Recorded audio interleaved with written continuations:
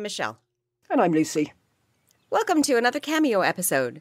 These very short episodes will be slotted in between other ones and will cover people who made a fleeting yet tantalizing appearance in other episodes. We don't always have a lot of information about them, so they can't have a full episode of their own, but they are too interesting to abandon completely, and they fill in the gaps and enable us to create as full a picture of the era as we can. And today, Prince Jem, who has shown up in more than one episode. Yeah, well, he's certainly been in the Patreon episode of Mehmed. Yes. And he's been in Charles. I mentioned Yes. him, I sort of dangled him in front of people in Charles and said, Yes. not mentioning anything now because it's too complicated. And wasn't he in one of the Pope episodes for Alexander? I can't remember now. I so don't long. think so. Yeah, I was thinking out of all the episodes we've done, that I wouldn't mind if if it had turned up a little bit later in the, in the series. Alexander's the one because at that time we were being very careful about. Okay, it's only what what connects you with England. And in fact, we sort of discovered on the way that. It's a it's, it's a complete mesh. Everything connects to everything else. Yeah, it may not seem like it links just off the cuff, but once we get into it, it is Mm. nothing. Everything's affecting England. Yeah, and then when you say that, oh, Henry the Seventh did such and such, ah, but he did that because Alexander said, and then it's all part of Yeah. it. But yes, I sort of regret Yeah. having. uh, It would have been about a five-parter, I should think. He's a busy Yes. man. Margaret Beaufort would have been so much longer. I'm finding her everywhere. Mm. And yet, when I was just researching her, if you just look for her, you find so little information. There's quite a few like that. Yes. Yeah. Really, that's what this podcast's for, isn't it? Just Yeah. joining it all up together. Yes. And that's the bit I like. I like most is suddenly thinking, oh, I know why. Yes. We've Oh, done that. This, this one's right after we recorded Charles, and I was re listening to our episodes before, and we were talking about how intriguey he was, and he got a very, very, very low score for intrigue. Uh, we were young and naive then. We didn't know what we were talking about. it made me wonder what you had read. You said, wait till we get to Charles. I was like, I think I just read that he was a licentious hunchback. That was all I'd Ah. read, really. And I thought, oh, sounds interesting.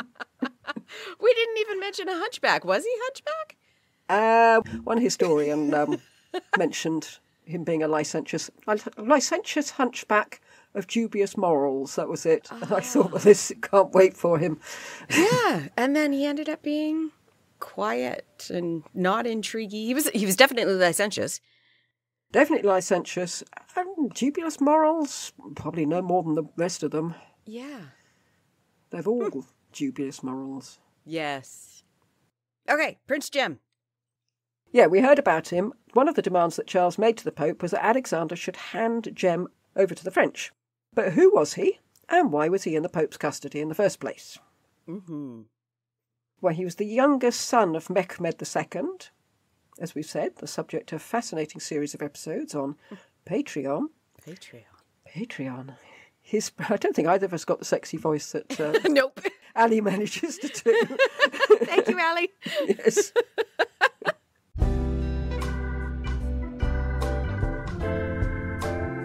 Tudoriferous Patreon, covered in thick, creamy milk chocolate. His brother Bajazet won the War of Succession, and Jem had to flee. Unfortunately for Sultan Bajazet, he was not able to kill his brother as soon as his father died, as was the Ottoman way. Yeah, well, now it's law. Mehmed put that in law. What an yeah, well, he idiot. broke the law because he wasn't there; they weren't together. Yeah. Yeah, it says yeah, dispose of all your brothers, and here's your succession problem solved. Yeah. Bring in your assassins. Hmm. It just makes things neat and tidy, doesn't it? Yeah. Neither Bajazet nor Jem were in, in Constantinople when their father died. The vizier, Ahmet, proclaimed Bajazet Sultan. But Jem had several reasons to feel that he should have been made Sultan. For a start, he had quite a following among the Janissaries, and you could tell us what Janissaries are. Yes, Janissaries are 99.9%. You could volunteer your your children, but children taken from conquered areas and basically brainwashed and fully trained to be nothing but a military force. So they were extremely well trained, extremely dedicated to specifically the Sultan. Very so loyal. the fact that Jem had them is pretty big. And it's not a small force. There were tens of thousands of them. Hmm. It was a massive amount of people. That's pretty sad. I mean, these are child soldiers, aren't they? Yeah. Earliest taken, I believe we said, was five. Oof. But average age was 12. And people who wanted, people who were not of a different ethnicity or a conquered area, could give up their children to the Janissaries in the hope that their Janissary would become a vizier, which is where many of them came from, and become rich and powerful and benefit the family, which did occur. So I guess it's sort of the same as child oblates. Have we? We haven't really gone into child No, oblates very much. No, I don't so the Christians had this. Yeah, Christians had the same sort of thing where you'd take your youngest daughter and dedicate them to the church, and as soon as they were four or five, they went off to a convent to become a nun or to become a priest. But the difference is, is they wouldn't be going into battle to No, die. they're not fighting. Yeah. Hmm. Jem had the Janissaries behind him and also the people in general. He's just more popular than Bajazet. Which makes me wonder how did he not become sultan? Uh, he didn't win. Simple as that. he fought for it and he lost. Oh goodness. yeah, he was born after Mehmed became Sultan, which apparently gave him greater kudos. Yeah, because he was born in the purple. He was the son of a sultan rather than the son of a potential sultan. Yes, and age did not mean a thing. No. It was whichever brother survived. Yes. Well, they're both surviving. That's the odd thing about it. Yeah. He, he didn't deny his brother's right to rule some lands, but only those that Mehmed had had before he became sultan. Yep, because they did do that with brothers before Mehmed put it into law that you had to kill your brother. Well, yeah, he seems to be willing to share. Karamanli Mehmed Pasha, who had been with Mehmed when he died, had done his best to hush up the death, giving Jem a chance to get to Constantinople to grab the throne before his brother got there, because it was just a race. Oh. You know, oh. first one to Constantinople is it. that sounds so ridiculous, but okay. This all went against Islamic law because you should bury a body immediately. You shouldn't leave them lying around for three days. Yeah. and it's hard to keep things secret. So mm-hmm. yeah, Bajazet beat Jem to it. And as is usual with these people, Jem just didn't say, "Yeah, never mind," and get on with his life. Well, he couldn't. If his brother follows. Yeah, if his brother follows the law, he's going to be killed.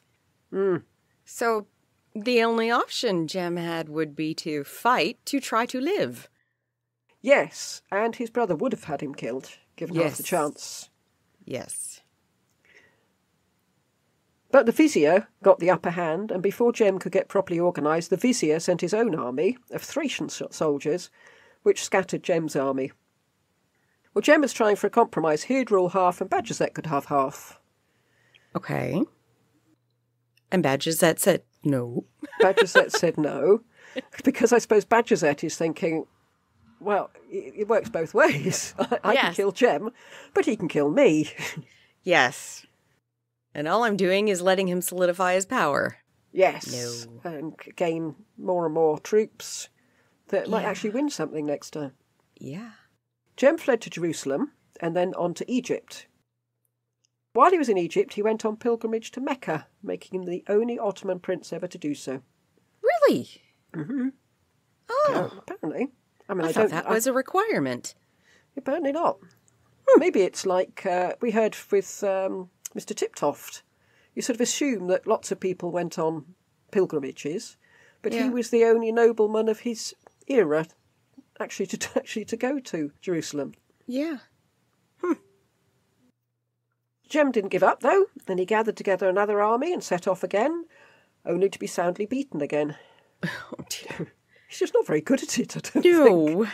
Bajazet offered his brother a pension, if only he'd live quietly in Jerusalem and stopped trying to grab the throne. Liar. Well, Jem refused, and yeah, I think he was right to do so. I can't see him surviving long if he'd agreed to that. No. So he sent envoys to ask protection from the Knights of St John on Rhodes.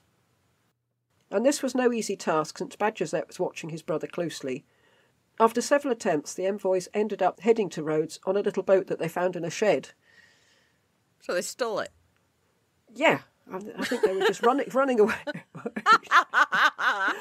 Oh dear. There's a boat, get in that, and they all rowed off. Does the boat leak? Probably. Oh, I, I envisage them frantically bailing, out as they go. But it's interesting that he's chosen to get protection from a Christian organisation. Well, that's the only thing that his brother wouldn't have control over, I hmm. guess. Yeah. Yeah. So smart. Yeah, yeah. Does he convert? No, Oh. no. Oh. No. They entreated the head of the Knights of St. John, the Grand Master Pierre d'Aubusson, to send a fleet to pick up Jem. But in fact, they didn't have to, since Jem just turned up, having also leapt onto a small boat as Bajazet's soldiers closed in. Goodbye. Yes. He's behind them on a pedal though, or something. Yes. he was received with full honour. Uh, but when he asked for military aid from the knights, he was told they would have to have a word with the Pope first. Well, yeah. Yeah. I mean, they can't just sort of. We're Christian. You're Islamic. Yeah, it's an international situation. Yeah. They can't take it on just themselves. no. Uh, but he was told, uh, wouldn't he be more comfortable in France? yeah, just jog on. That's what we want. Yeah. Just keep Yeah, moving. keep going. He must have agreed since he sailed for Savoy in September 1483 with Pierre d'Aubusson and some of the knights. And it would be nice to think that the knights had taken him under their wing out of pious goodness, but, you know, this is the 15th century. We're hard pressed to find anyone who does anything out of pious goodness. For a start, he was very useful to them politically. D'Aubusson wrote, quote, Jem's faction will revive if he be furnished with troops, and his brother, who is a coward, will be frightened out of his wits. Oh my goodness. He has few good generals in his service, and the best of all, Ahmed Pasha, the victor of Otranto, is only waiting for a propitious moment to turn against him. Of this he has assured Prince Jem in writing, begging him not to despair of fortune. Christian powers need make no great sacrifices, for we shall be helped in Europe by the prince's partisans. Sultan Bajazet, surrounded by enemies, will be unable to offer resistance. Unquote. Why do people make this stuff up? Honestly, you have no information. Where are you getting this from? Yeah, and if I were Jem, I don't think I'd count on Ahmed No. to, to rise up on his part. No, and I wouldn't say your brother's a coward. Yeah, and for a start, he's the Grand Vizier, and we know from watching films that they are always Yes. sneaky and lurk in shadows. And want the daughter of the Sultan. Yes. d'Aubusson went on, quote, Now is it in the power of Christendom to destroy the detestable race of Mohammed, unquote. So, not much pious goodness there. But, I mean, they are a Christian company in medieval times, so it's, there's none of this belief in faiths and accepting everybody else's belief as being No. Parallel to your own. As far as Jem was concerned, he was just waiting for the word from the Pope, and then the knights and his army could set off to overthrow Bajazet. And he offered perpetual peace between the Christians and the Ottomans. Unfortunately, he didn't realise that d'Aubusson had thought it over and decided that a much better idea would be to offer to hang on to Jem and make sure he didn't try anything. So, complete change because they were telling him he should try something, and now they're saying, No, okay, no. we'll cling on to him and we'll make sure he doesn't try anything in return from lots of money from his brother Bajazet. Hmm. And, but I didn't see this anywhere, but it did occur to me that if there were perpetual peace between Christianity and Islam, the Knights of St. John would be out of a job. Yes, they would. yeah, I don't know if that, occurred to them to think, oh, what do we do if there's peace? We just sit here looking pretty. Yeah. But they, Oh. betr- they betrayed him for money. Of course they did. Meanwhile, Bajazet had been seeking peace with the knights for a while. And now this became more urgent for him, since the implication was yes, we'll hold on to him if you pay us, but if you don't pay us, he's coming for you, and so are we. A treaty was drawn up between them, but Jem wasn't part of it. He wasn't even mentioned. He was mentioned in a private communication. And as any loving brother would, Bajazet asked d'Aubusson, quote, to keep, care for, and protect him beneath your wings, that his passion for war might die away, unquote. So obviously Bajazet has is concerned for his brother's welfare. Oh, of course. Hmm. He even offers to pay for his brother's expenses, an annual pension of 45,000 ducats. And obviously, this is how it's coming across in the treaty. You know, mm-hmm. if you look after my brother, because, you know, I want him to be safe, and I'll pay for his clothes and his food and everything, don't worry about that. But obviously, they've discussed it behind the scenes and said, you keep my, my brother a prisoner, and I will pay you for not releasing him. Yeah. Which is not quite the same thing. No. But then he's hanging over your head the entire time that he's alive. Yeah. Like, that would be awkward. And there's I nothing think to stop them saying, no, we want more money and more money and Yeah. more money. Yeah. Hmm. Hmm. But Jem is now a prisoner, but bizarre- bizarrely, a prisoner who was well kept at his brother and enemy's expense. So he's a useful captive for people to have. Yeah. You get the money. The only, yeah, as you say, you're able to hang Jem over Bajazet. Now, does he stay in like a prison dungeon thing, or is he No. housed respectedly, respectfully? He's housed respect, respectfully, I mean, luxuriously, in fact, but Oh. secure, securely. Okay. I mean, they don't want to lose him. He's bringing in money. Yeah, it's just weird that a... Christians are getting paid to keep care of somebody who's Islamic. Mm-hmm. And I'm assuming they're allowing him to continue his religion since you said he doesn't convert. He doesn't convert no. Wow. Yeah, I was thinking of Prince Jem as being Sultan Bajazet's Perkin Warbeck. Yeah. Very similar. And I wondered, or again, Except I he's real. well, I, I wondered, although again I didn't read it anywhere, whether Ferdinand and Isabella and Charles VIII had the treatment of Jem in mind when they offered to buy Perkin from James IV of Scotland. They thought, well, we can oh. see how well this Jem thing's working. Yeah. We could do the same with Perkin and Henry. Yeah. Then I wouldn't be forking out all that money from the Treaty of Etaples, would I? I'd be getting money instead. Yes. Hmm. anyway, that's why so many people were so keen to get their hands on Jem. That's the Pope, Venice, France, Hungary, and Naples all had a go at getting their mitts on him. He spent a year in Savoy, and then when Louis XI died, he was moved to France. And he couldn't go to France before that because Louis had said he didn't want Muslims on French soil. That, and then he stayed at the Chateau de Bourganeuf with d'Aubusson's nephew, Guy de Blanchefort. And he was well treated, as we said, but there was a fortified tower built especially to keep him in. And it's still there, if you want to go and see it. So at that point, he was still in a dungeon? Or He's in, he's, he's in a tower. which He's is not. I- He's never in a dungeon, uh, as far as I know. But he's in a, a tower. I mean, it's a very secure tower, but it's I'm thinking the Lon- Tower of London kind of thing. But no. it looks quite forbidding from the outside. I looked at a picture of it, but um, I gather it was quite luxurious inside. Okay. They looked after him. Okay. I mean, you don't want him dying of anything, do you? no, he's a cash cow. Yes. In 1489, he was handed over to Pope Innocent VIII with the permission of Charles VIII. And the Pope and the King of Hungary, Matthias Corvinus, had both been wrangling over getting him, because he's that year's must have prisoner, I think. Next year, we'll pick a different person. Yes. Well, if you remember, Innocent was keen for the French to take over Naples, yes. and so Charles probably didn't see any problem with the arrangement. You know, we're all on the same side. Oh dear. He didn't think ahead about there might be a possible change of pope somewhere along the line. and it's easy to see what the pope got out of it. The 45,000 ducats now went to him.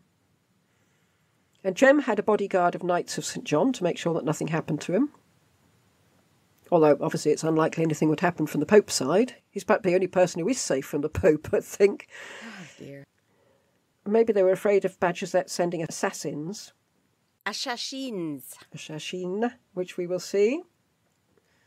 Uh, the Pope promised to pay a 10,000 ducat fine if he handed Jem over to anyone else without Charles VIII's permission. But, you know, why would he Seriously. do that? Seriously. Hmm. He's Charles's property still. So? You're the Pope. Why would you pay anything? Hmm. Oh, but what did Charles get out of it? Well, there are red hats for both d'Aubusson and the Archbishop of Bordeaux.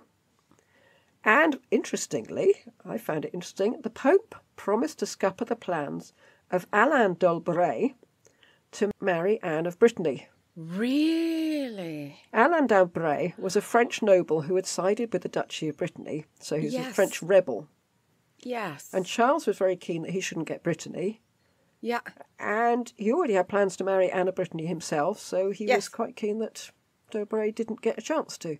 So the Well- Pope said, That's fine. I will make sure it never happens. Well, Anne was making sure it den- never happened either. Yes, but she, She didn't was- have quite as much clout as the Pope. I'm not marrying this man. no.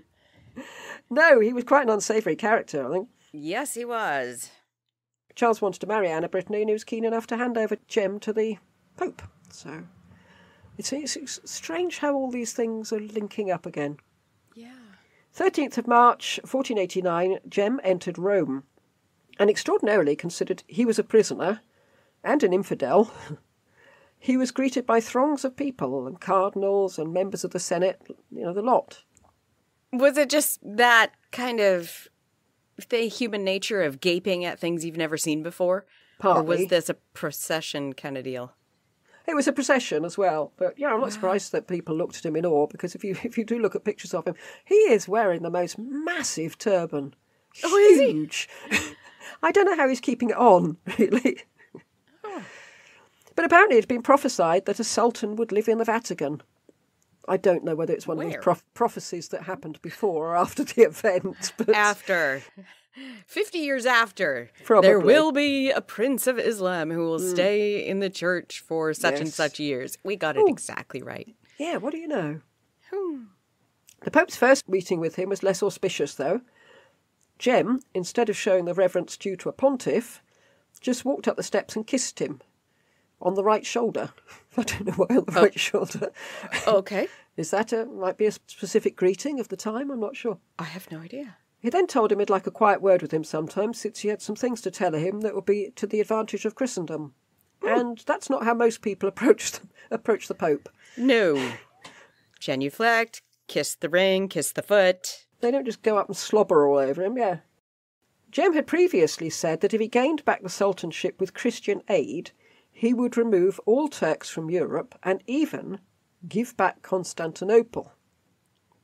Wow. He must have been unbelievably self centred to offer to give back the city that his father took so much effort to win.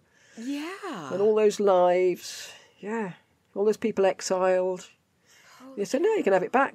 Just make me Sultan. Hmm. Innocent got very excited about this. Yeah, I would too.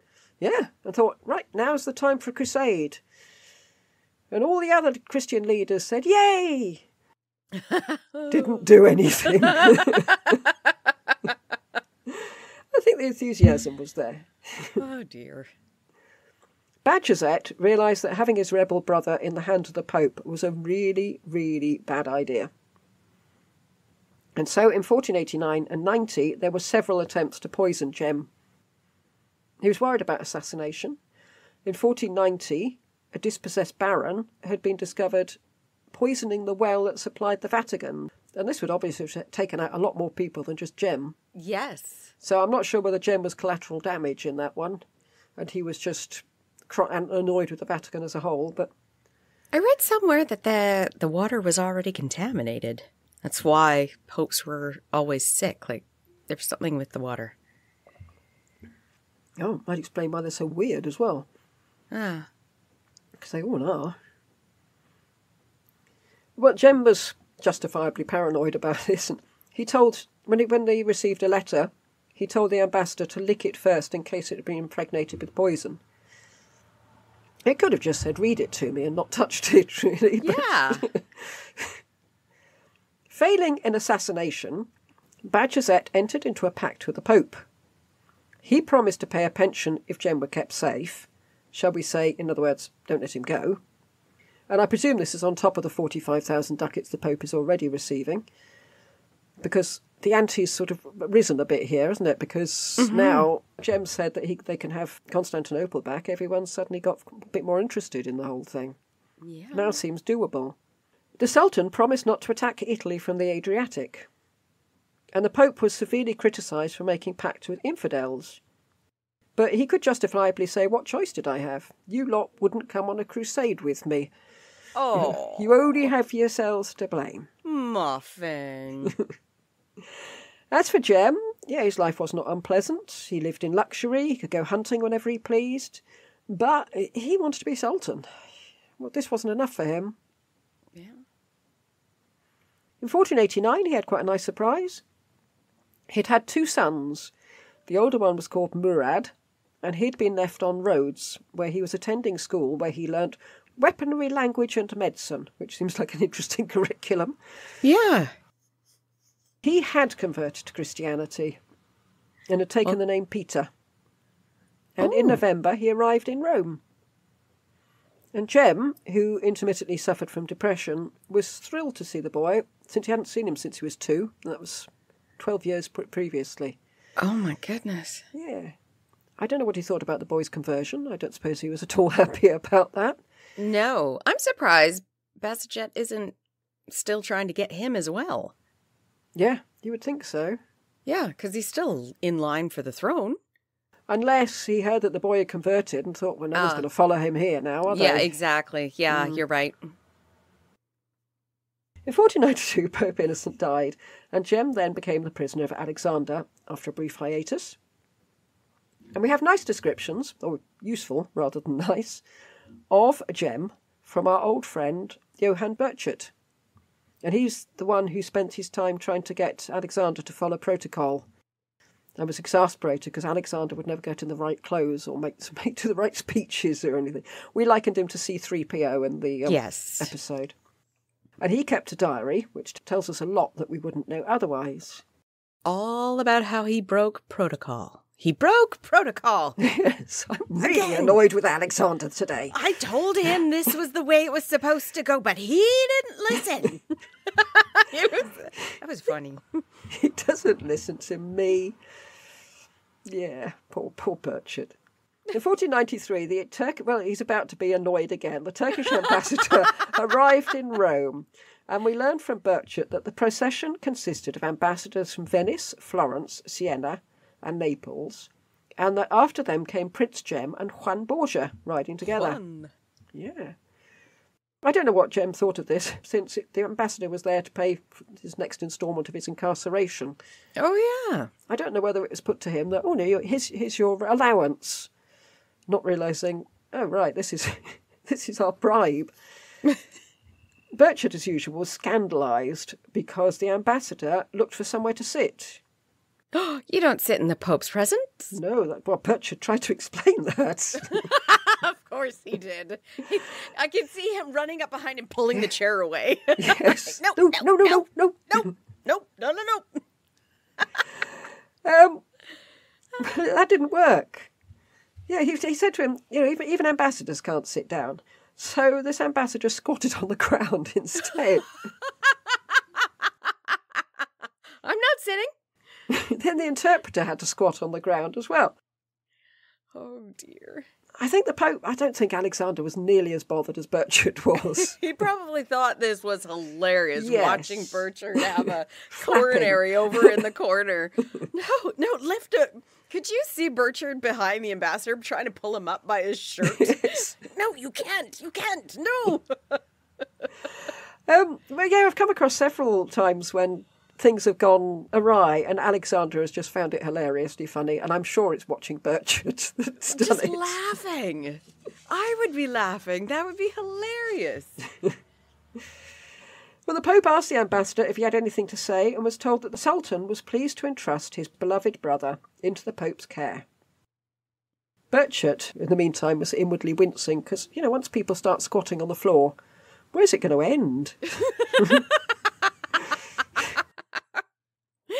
Oh dear. If people were shocked at Innocent making pacts with the Ottomans, they would have been horrified at what Alexander did once he realised that Charles VIII was on his way to Rome. And this was when Charles invaded Italy to get the throne of Naples that we heard about at such length before. In May, the Pope contacted Bajazet to ask for help to keep Charles out of Naples. And in June, he wrote to him again asking for money. He was actually saying, Could I have an advance on the Jem money, please? The French are coming and we need the money now. And this didn't stay secret for long, because the envoy Alexander sent to Bajazet was intercepted by, it couldn't have got worse really, by Giovanni della Rovere, Oh no. the brother of the della Rovere who was to become Pope Julius II. Yes. And he commandeered the 45,000 ducats that the envoy had brought over Thank you. yes, and sent the Pope's correspondence to his brother, who had it published. Ah. And the letter from it's really damning. The letter from Alexander, and these were authenticated at the time. These letters, Okay. although they were authenticated by people who'd been happy to bring Alexander down. Yes. Yeah. The letter said that Charles was coming to Italy for the purpose of quote tearing out of our hands Jem Sultan, and obtaining possession of the King of Naples. And not only will he hasten that he may seize the said Jem Sultan and secure a kingdom, but also that he may be able to cross over into Greece and wage war against the territories of your highness, which ought to be known to your majesty. They even say that a fleet under Jem Sultan will be sent to Turkey. Unquote. I'm sorry. So they're saying that the Pope is warning the other religion that people crusade against that a crusade is coming from the French. Precisely. Oh dear. He's warning the infidel about Christians. And he's the Pope. Oh, dear. Yeah. Yes. It continues, quote, If the French should be victorious, your majesty would suffer great injury, both by their seizing Jem Sultan and by the expedition that would follow, in the which they would have the assistance against your highness of the Spanish, English, well, good luck with that one, Hungarians, Poles, Bohemians, and the Emperor Maximilian, also good luck with that one, who were all powerful princes, unquote. Not the King of Denmark, though. No, no, no, no. well, this makes me doubt the authenticity. Yes. It reads to me to be the sort of thing you might write if you wanted to discredit someone in the eyes of all the important people. Yeah, those specific people. Yeah. Look what he said about you. Yes. Yeah. Yeah, the Pope cares nothing for you. He's siding with the Sultan rather than you. Or a crusade. Yep. And why is he warning, saying that the French are coming? Because the French did say that they were going to take Naples and then move on. It did say that. Charles had intended to go after the Turks, or at least that's what he had said. He did say that. Yeah. Yes. How much he intended to, we don't know because he never did it. But I, th- I guess the Pope doesn't want to lose his 45,000 ducats. It's a, A lot year. of money. Yeah. Yeah. I'd take that every year. Thank you. Yeah. Yeah, I mean, it's quite likely Giuliano della Rovere wanted to discredit his rival. Mm-hmm. I mean, once he became Pope, Julius wasn't above, you know, a little subterfuge now and again. No. Yeah, we'll carry on. In the correspondence, Alexander suggests to Bajazet that he persuades Venice to help protect Naples. Because Bajazet and Venice have made this that truce that we heard about in Charles's episode, and that was why Venice didn't want Charles to make a move on Naples because they didn't want to rock the boat with the Ottomans. Bajazet wrote back saying that all seemed in order, but he had a request for the Pope. Quote, you say the King of France intends to get possession of Jem, our brother, who is in the hands of your potency. This is greatly against our desire, and from it will become very considerable loss to your magnitude. And all Christians would suffer injury. It might make for the peace, benefit, and honour of your potency, as well as my contentment, if you would cause the said Jem, our brother, who has in the past been sentenced to death, well, as you said, Mehmed made that law that Yep. you should kill your brother, and who is in your hands of your magnitude, altogether to die.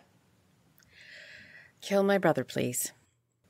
And that's that's quite blatant. I mean, it's he's not telling him to take care of him or take him No. take him for a little walk or anything that might be misconstrued. He's just saying he should be made altogether to die. If your magnitude were disposed to satisfy me in this particular, as you may, in your discretion, think well of doing, it ought to be effected as quickly as possible, and according to the method that your magnitude thinks best. I don't care how you kill him, just kill him. Yeah, come on, you've you've done a few. You know how it's done. Wow. I keep thinking that there should be some family feeling, but we do have to keep in mind that they were raised entirely separate. And they were raised to be rivals. Yes, they were Yeah. raised to try to take out their brother. So, the opposite of family feeling here. Yes. well, a lot of family feeling, just not nice feeling. Yes. I really couldn't imagine telling somebody to kill my brother. No. But can you imagine asking the Pope to kill your brother? No. You're supposed to be the most peaceable man in the world. yeah. Turn the other cheek and all that. Well- Can you do me a favor?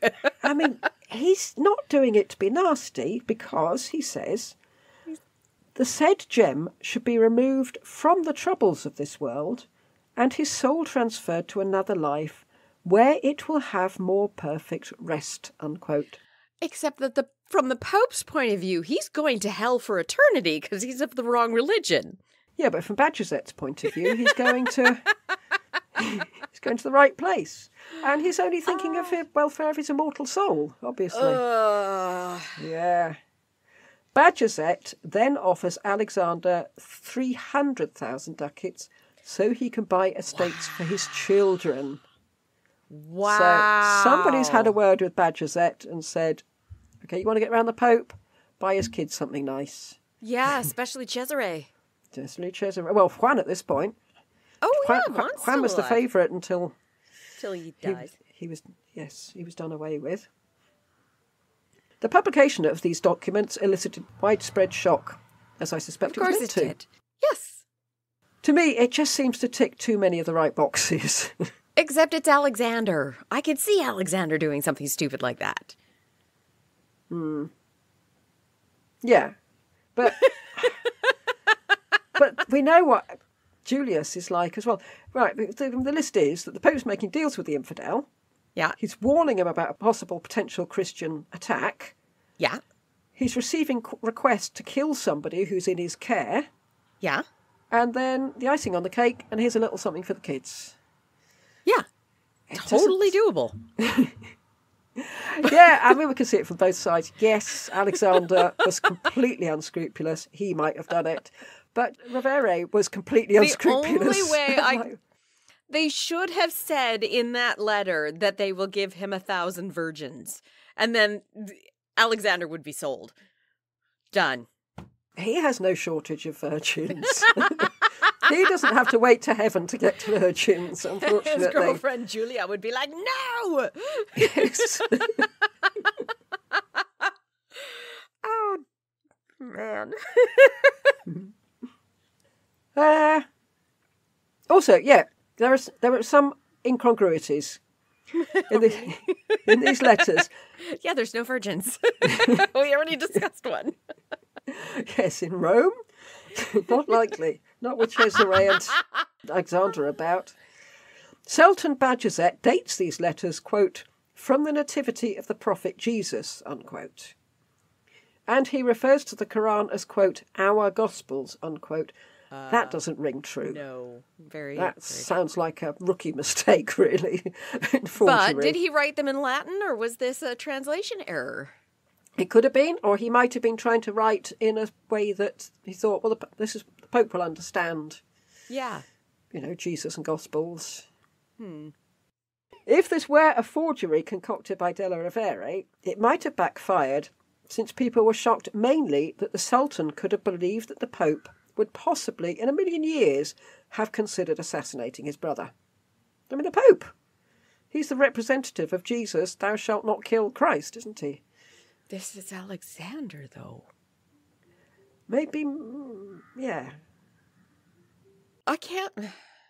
I mean, cynical people like us would probably think, well, of course the Pope's not going to kill him. He's bringing him 45,000 ducats a year. Yes. And not, the, of course, the Pope's not going to kill him. He's the Pope. Yes. But it's interesting, if they were looking for something to tarnish Alexander with, that they had to go way off the scale of corruption, since anything less will have been considered sort of everyday behaviour for the Borgias. Yes. You know, people are already shocked that a Muslim was living in the Vatican at all. That wasn't all. Yeah. Yeah. Burchard reproduces these letters in his diary, but he doesn't say whether he believed them or not, which is a pity. I'd like to know. But we do know that some pages are missing from his diary, so it's quite. Oh, I wish we had those pages. I don't think we're meant to. Alexander was later to claim that these documents were forgeries, and he blamed Della Rovere. Which was odd, because he remained on good terms with Giovanni Della Rovere, who had intercepted the letters in the first place, oh. and with Bocciardo, who had verified the authenticity of them. Oh. Apparently, it has been conclusively proven that, that if they were forgeries, Della Rovere wasn't behind it. And I tried to chase this up. The article I read this in gave the reference of The History of the Papacy by Mandell Creighton, Volume 4, page 348. So I chased that up and discovered that the book only goes up to 314. So I don't know why, Different prints? possibly. Hmm. But perhaps we'll come back to that from another angle at some point. Why it wasn't, well, when we get to Julius, why it can't have been him that did the forgery. Yeah. But that was on Google Books, the one I found. When Charles entered Rome, Alexander had Jem secretly taken to the Castel Sant'Angelo, which was fortified, and so he'd be safer. As we saw in Charles's episode, he and the Pope negotiated terms, and one of those was that Charles would take Jem for the duration of the campaign and would return him to the Pope at the end. Such a random thing to demand. It does seem sort of power for power's sake, doesn't it? I'm taking Yes. it back. Well, I don't want Yes. you to. Yeah, but I'm here now. yeah. and, and you know, you might say you and whose army. Well, I'm surrounded by them. so- Yes. These ones. But the Pope would continue getting the money, and this are now now amounted to 120,000 crowns. Well, I'm not sure about crowns and ducats. History books do that all the time. Suddenly you're into different Yeah. denominations. You think, well, But all the time. Crowns, ducats, pounds, leave. livres, Yeah. groats. But this was equal to all other papal revenue combined. So that's Peter's pence, the alum trade, indulgences, the lot. Yeah. So he is well worth keeping. Yes, he is. And Bajazet sent the Pope the Holy Lance, which had pierced Christ's side. Number 437. And much of the work done on the Sistine Chapel was paid for by Jem's ransom. oh, I thought he would have spent it all on his kids. No, Michelangelo got some of Jem's ransom. Oh. Burchard said of these negotiations that the Pope was, quote, somewhat unfittingly dressed in his white cloak and biretta and his decorated stole, unquote. well, I don't know what you meant to wear when you're meeting the King of France, but apparently not that. How dare you? Wear the right thing. yeah, he's trotting behind him with his clothes. Quick, nip, him, nip behind the curtain and change. I said we'd come back to how likely it was that Sultan Bajazet would ask the Pope to assassinate his brother. Jem had only been in Naples for three days when he suddenly died. Oh dear. Some think that Alexander did what had been asked of him. Yeah. Now, look in his coffers. Does he have 300,000 ducats? Hmm. No, he's broke. If. constantly. well, if you remember, One of the deals of the treaty was that Cesare Borgia should go with Charles down to Naples, you know, as, as a sort of lieutenant or possibly as a hostage, really. Yeah. Uh, so, so Cesare had been there for a while, at least. And Cesare likes killing people. He does like killing people. Hmm. And then he sneaked back to Rome. Uh, could he have given Jem a slow acting poison of some sort? So there's a little insertion here. While Jem was with the Pope, remember the episode where we were talking how they were going to smear a door frame with some sort of goop to kill Yeah. King Henry? Yeah. So to prove that this alchemist could kill people like that, That's right. he kills off one of Jem's Turk friends. Yes, I'd forgotten about that. Yes. Yes, through alchemical means. Yes. Nobody knows how. No. And that's what convinces the conspirators that this goop would kill Henry. Hmm. So, see, it, it totally fits in with England. It does, and that goop might well have worked, except that the bloke lost his nerve and chucked it away, and then thought, "Oh, good heavens, I ought to have something to take back," and brought back sort of ashes and soot and Yeah. some sort of gunk. but the goop might have worked for all we know. So yeah, maybe it was maybe it was uh, door goop that killed him. Yes. He walked through that door. Yeah, although Charles had Jem in the flesh, Alexander was still getting the money for him, so it just seems unlikely that I just don't feel that Alexander's going to get rid of him. But uh, the article I was reading, The Case of Prince Jem, a Curious Episode in European History by G. V. Jordan, was convinced not only that the Borgias were behind Jem's death, but that proved the authentication of the letters, since what had been said in them had come to pass. Right. It seems like arguing from the, from the wrong direction to me. yes. yes. Bajazet had asked the Pope to kill his brother, and the brother was And- dead. Um, yeah. But yeah, there were too many unknowns. Yeah. We don't know if the letters were genuine. We don't know if Alexander killed Jem. Maybe Bajazet did. Maybe he died of pneumonia. Lots of people did. Or syphilis. That's, yeah, that's, that's not impossible. It would have been very quick. A little oh. too quick, I think. Oh, okay. I think. In Assassin's Creed Revelations, he was killed by assassins. Yes, this is the only person Jason knows about because he plays that video game. And apparently, he also had the apples of Eden.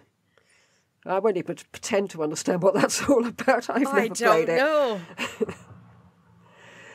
Jem had wanted to die on Muslim soil, and that didn't happen. But his body was taken back to Bajazet, who treated it with all due honour, as he might well now he's no threat. Yes. I'm sure he was saying, I paid these people to look after him nicely, and they did, but now he's died, and we're all desperately sorry. Or did he just want to get the body away before anyone could test it for poison? Ah. Did they have the ability to test for poison? I don't know. I don't know. Oh, smelling smell of bitter almonds, isn't it? That's what you've got to look out for. For cyanide. Yes. uh, it was nice that the Christian authorities thought to send him back to where he'd wanted to be. Unfortunately, it took four years, and the reason for the delay was that they were selling the body to Bajazet. Oh, wow. They wanted a good price for it, and they got 300,000 ducats and the promise of permanent peace. And peace is nice, but it seems that Jem was worth more dead than he had been alive. Yes. Maybe the Pope did kill him for 300,000 ducats. Yeah. I don't know. I mean, that's that's a one-off payment, but otherwise he'd be getting forty-five thousand for life Per then he- year. yeah, Hmm. but then he's getting on by that point. But he's also not getting forth at 40000 a year because he does have to pay for the upkeep of Jem.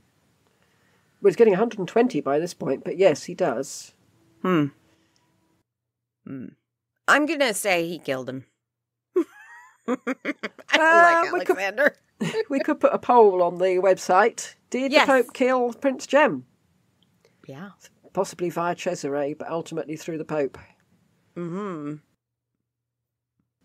And that is the story of sort sort of Prince Jem, but mainly about how other people Took advantage of him. Took advantage, yeah. Made money out of him. Yes. yeah, poor bloke. But then he was willing to give up everything to become Sultan again, which does put you off him a bit. Yes. Especially Constantinople. Yeah. He would have been assassinated if he had managed it. People would be angry. Yeah, they'd be furious, yes. Mm-hmm. Yeah. Anyway, Goodbye. goodbye. another another episode that fizzles out. Yep.